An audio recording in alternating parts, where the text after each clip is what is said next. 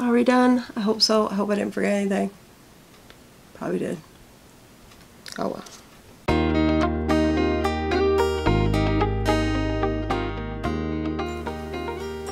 Hello everyone. Today we'll be doing a video using the sort of new Norvina Volume 1 palette. Gorgeous, gorgeous thing that it is. Um, this was a very expensive palette, so I want to get as much use out of it as I can. And it is gorgeous. It's, it's beautiful.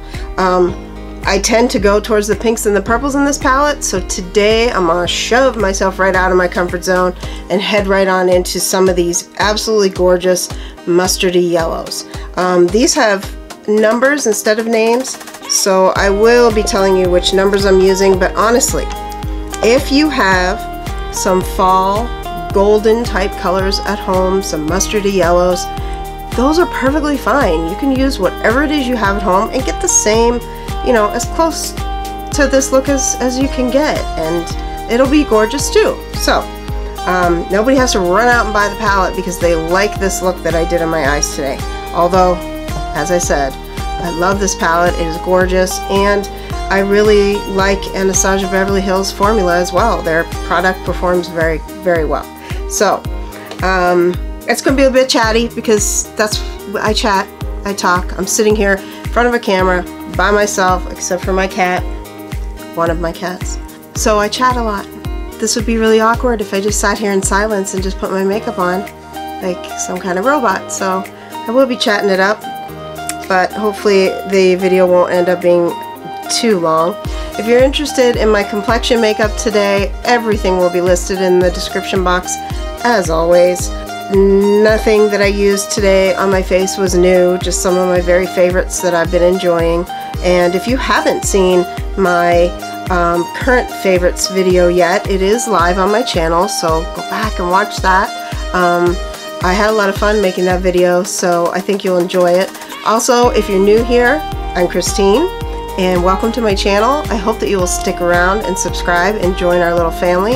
And um, if you would like to be notified of when I do upload videos, then go ahead and click on that bell as well and you'll get notified anytime I upload something. Also go over and follow me on Instagram because I do makeup looks of the day over there. Um, and also I'm hopefully going to start doing some outfit of the day photos um, because I broke my full-length mirror. So I'm in for what? Like 49 years of bad luck? I don't know. It was pretty big. So I have to buy a new one. And they're pricey. Why are mirrors so pricey? I don't understand. It's just a... I don't get it. It's like $100, $150 for a mirror.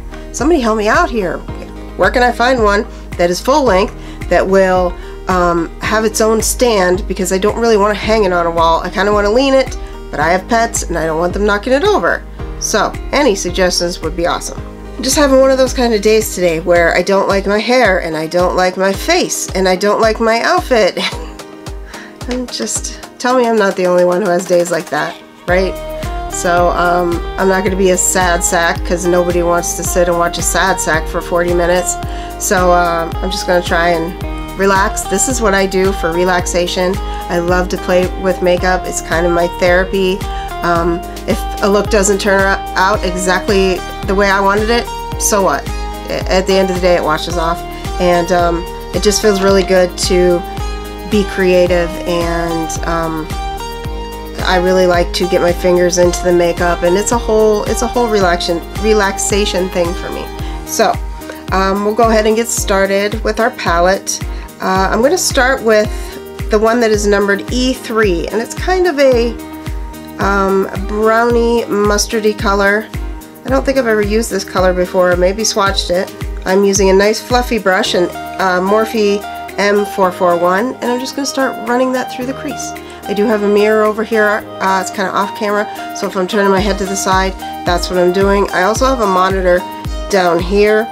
Um, it's kind of small. I'm hoping to get room enough to put a full-size monitor so it's easy for me to easier for me to see um, but sometimes I do need to look in the mirror. Right away it's coming off with beautiful pigmentation.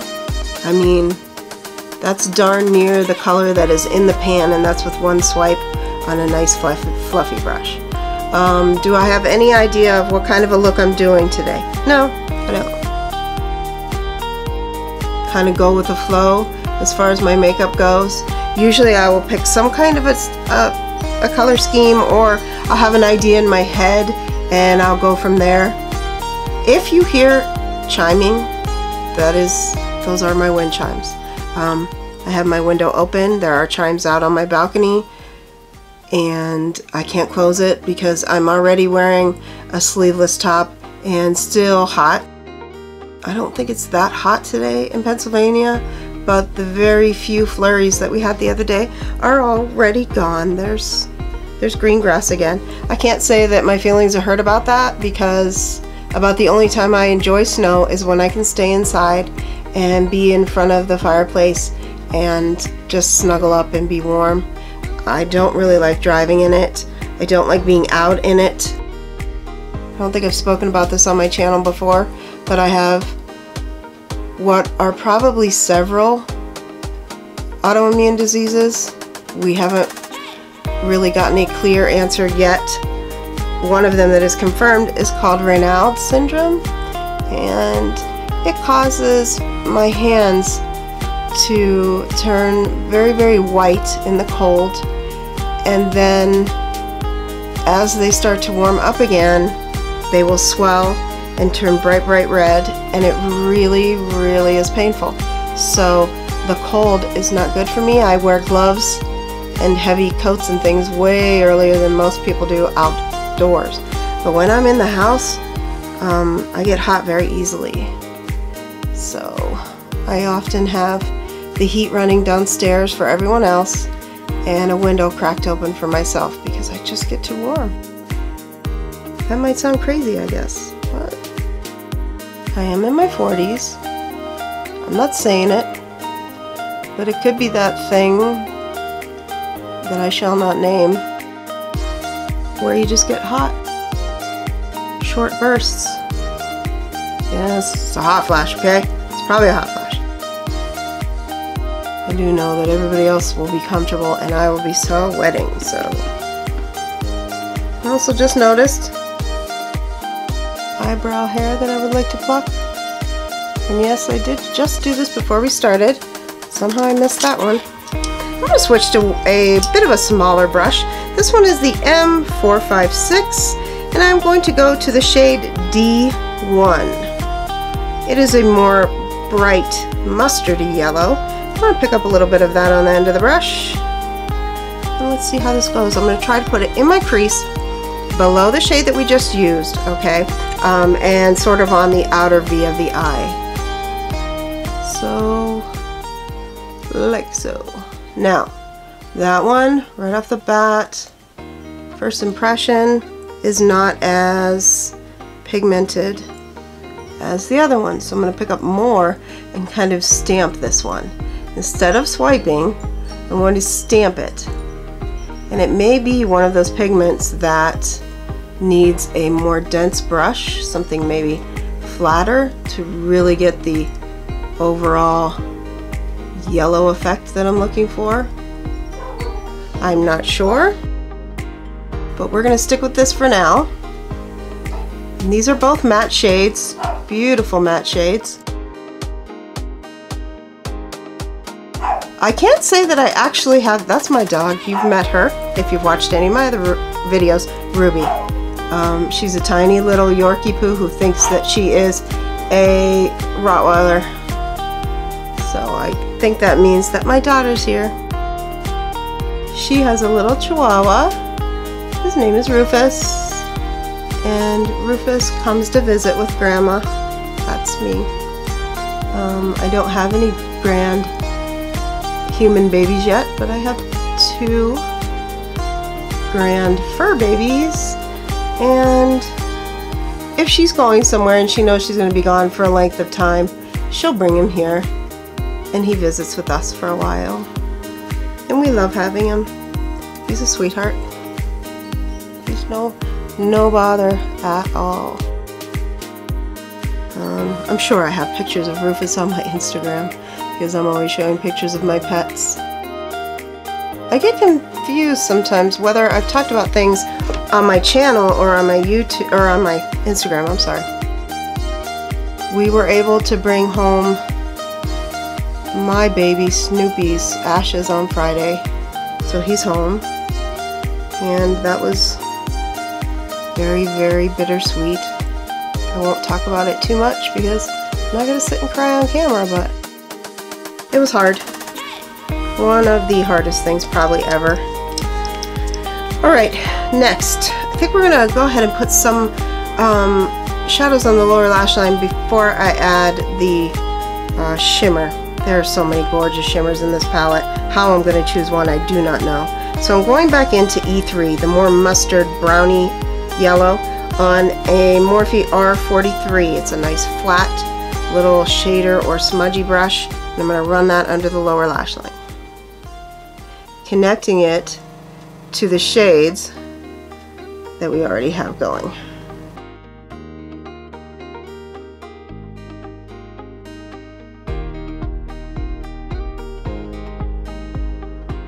Let me know in the comments. Do you have your Christmas lights up yet? Or your Christmas decorations, or even your tree? Um, we got our indoor decorations out this weekend, I love it. For me, two months is not long enough to have all those decorations out and, and just enjoy them.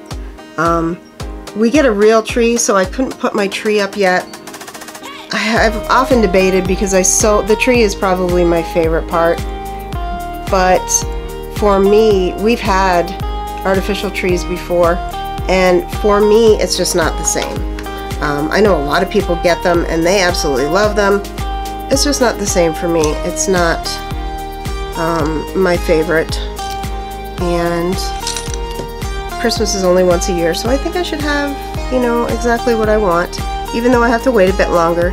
So usually the weekend after Thanksgiving is when we actually get the tree put up. Um, we, it's a whole thing. We go as a family to a tree farm, a local tree farm in our area, and we choose a tree. Sometimes they already have some cut and we can choose from those, but we have had years where we've gone out into the um, out into their little tree farm and tagged our own tree and then actually had it cut right cut down right there. So that was amazing. Um, I do remember one year when we were living out west, we decided that we were going to buy a tree. Now I'm going to take that E3 shade and I'm going to run it along the um, lid and kind of use it as a bit of a, a liner. We'll see how this goes. I haven't done this with this shade before, but shadows can make really good liners. So we went and got a permit to cut our tree down out in one of the national, I think it was a national forest in New Mexico and we drove and we drove and we drove. I'm telling you, it was like the Griswolds trip to pick up their tree. We drove forever out into the middle of nowhere in a forest and then we trudged with two little kids through up to my knee, maybe even my my halfway up my thigh, it, snow to try to find a tree and we never did find a tree. We never found the tree. Everyone that we found, one side of it was completely bare or they were too small or way too big. Oh, what? But we'll never forget it. It was a family experience that honestly we will just never forget. It was that good. Um, so now we don't do that, although I'm sure there are lots of places in Pennsylvania where you could cut down a Christmas tree. Uh, we just go to the tree farm where they're growing the trees and we don't have to trudge through, you know, a mile of snow to find a tree. Now, this is the hardest part for me because there are so many gorgeous shimmers in this palette that I want to stick all over my face, but I don't also have a tendency to get my lids looking way too busy. Um, there's one in here I really like and it is kind of a duochrome pink to gold shift. I think I'm going to use that one. I'm going to go in with my finger. It's just my favorite way to apply shimmers. If you've been watching me for a while, you know that. You can also use it on a dry brush if you want. You can use it on a wet brush. I've also seen people just use a wet finger. Put a little setting spray or water or whatever on their finger and then pick up the shadow and it seems to work really well for them. So that color is stunning. I am in love. This is E1. So it's the bottom row farthest left in this palette and it is beautiful. Well, if you excuse me for one second, I'm going to go ahead and close that window. The wind is really picking up. Ten seconds later. Sorry. Now my cat's going to be angry, but it's really getting loud. Okay, so I really love that shade. That shade is gorgeous. I'm going to deepen up the outer V here a little bit more. I'm going to try taking kind of a shader brush and using our E3, the dark mustardy color. And just see if we can pack that on to build up a little more drama in the outer V. Still not exactly the way I want it, so I'm going to take a small brush, the M456, and pick up a kind of a browny, rusty terracotta, terracotta color. C5. Get a little bit of that on the brush. And it is a very deep color. Let's see how this looks. It's just going to warm up the crease a little bit, deepen it up, give it a little more definition, and hopefully pull the eye out a little bit, open it up a little wider. I don't have the biggest eyes ever, and I just think that that is a technique that seems to work out for my eye shape.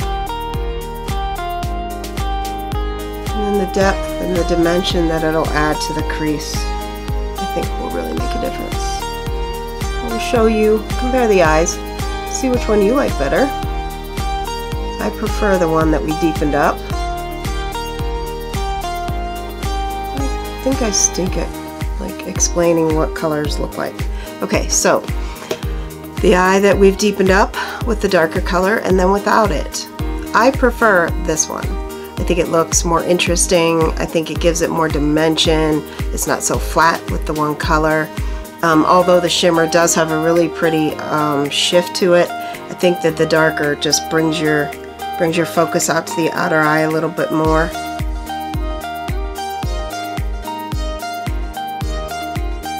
Not to talk too much when I am blending because sometimes my editor slash slash husband that'll be a part where he can cut out if my videos are getting too lengthy.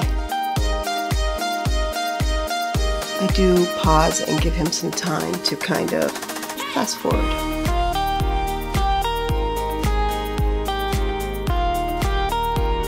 I know a lot of people were upset and had many, many feelings and opinions about Anastasia coming out with so many of these very large, pretty pricey Norvina palettes all at once. I really don't have an opinion on it. I just know my budget and I know what I can afford and I couldn't afford to buy all three so close together. But I have faith that this is something that's going to be around for a little while and I really would like to pick up volume 3. Um, it looks very interesting to me. That I think out of the three, had I waited and had um, the choice of any one of the three, I may have gone to the third one. Although this is a stunning palette. I mean, I don't regret buying this one at all. So I will probably pick up volume 3 at some point. For several reasons and to be completely transparent. Uh, one of them is packaging. I fall for the packaging every single time.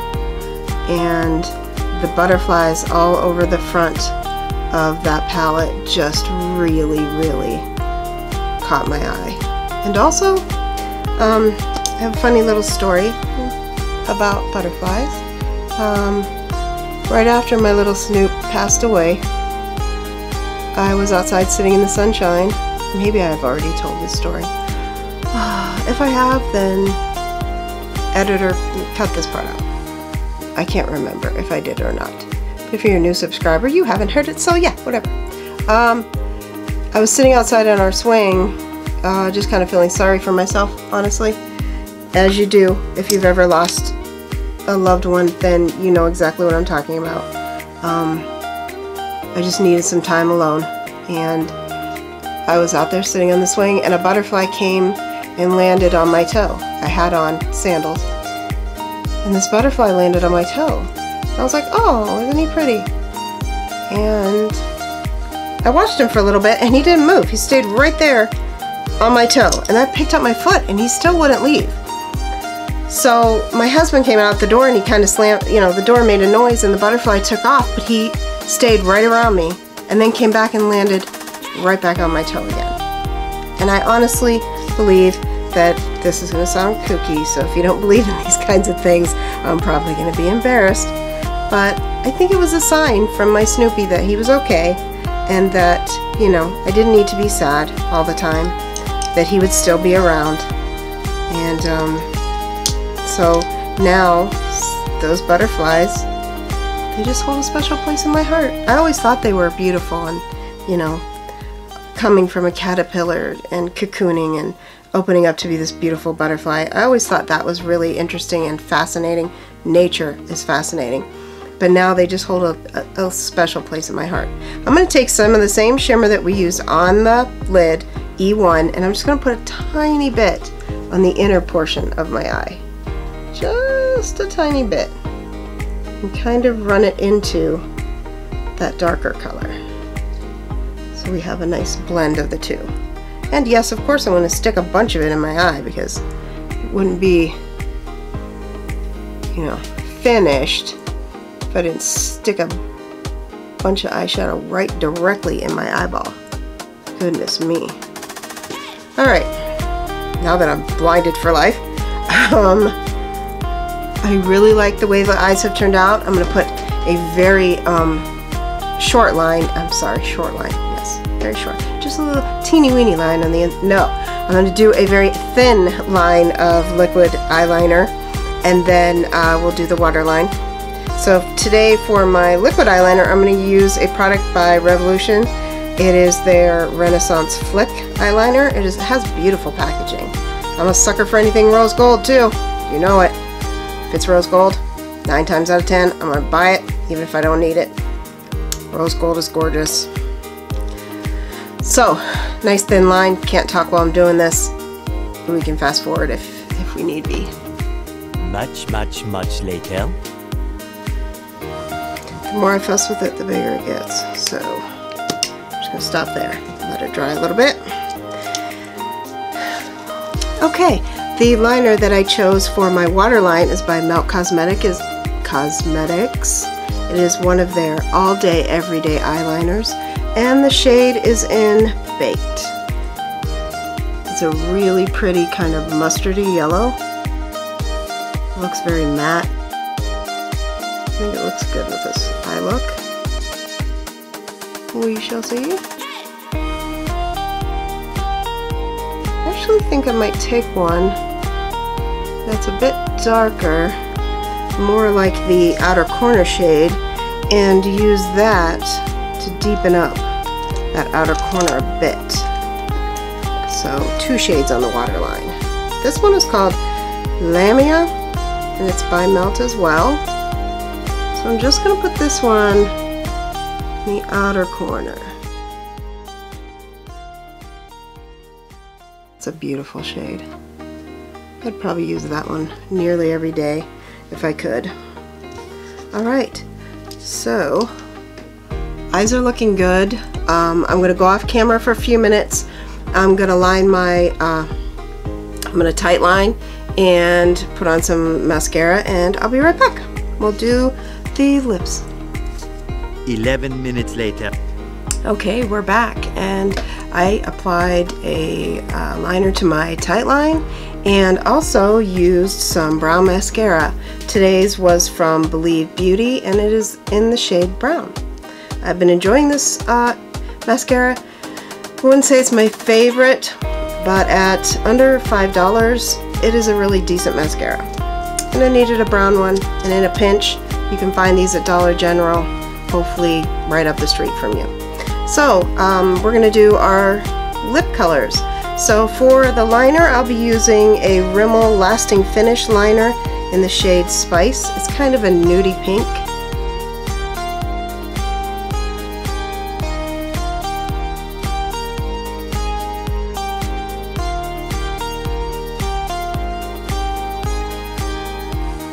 Okay. And for lippy today, I'll be using a one of my favorite liquid lip formulas actually and it's very affordable. This is by Wet n Wild that you can find in Walmart I think Rite Aids um, CVS uh, it's a drugstore brand and it's called their Megalast liquid catsuit and this is one of their metallic versions. If you don't like metallic lipsticks obviously you're gonna hate this but I think it's really pretty and it's called Queen's Blood and their packaging is super cute. It's got like flames on the top and it's all rose gold and clear packaging. The doe foots are really nice.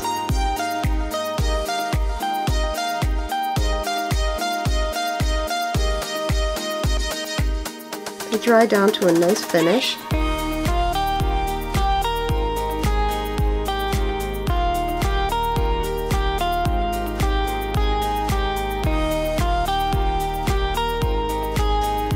And they have a really good uh, staying power. So,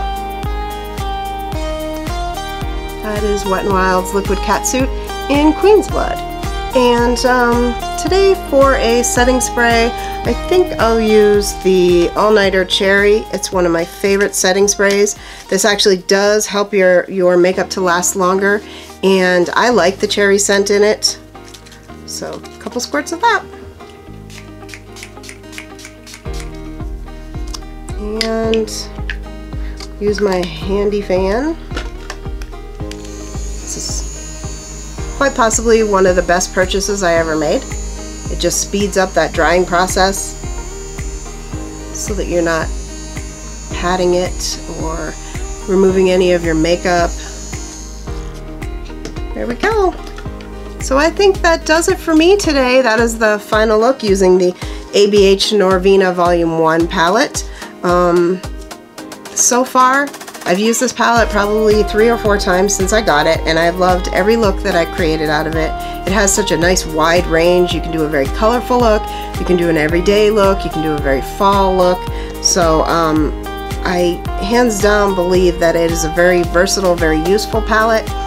I'm just not sure that you need the other two if you've already purchased this one. I think that's I think that's pretty much where I stand on it. Will I probably still get volume 3? Yeah.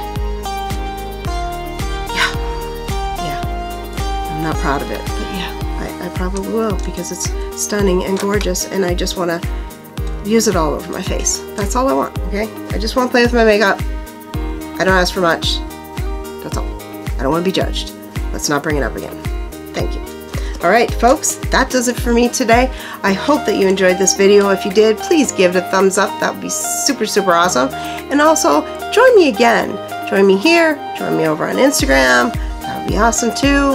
And um, I'm trying very, very hard to push over what seems to be like this 625 mark on Instagram. It's like plateaued there and I'm not sure how to get it moving again.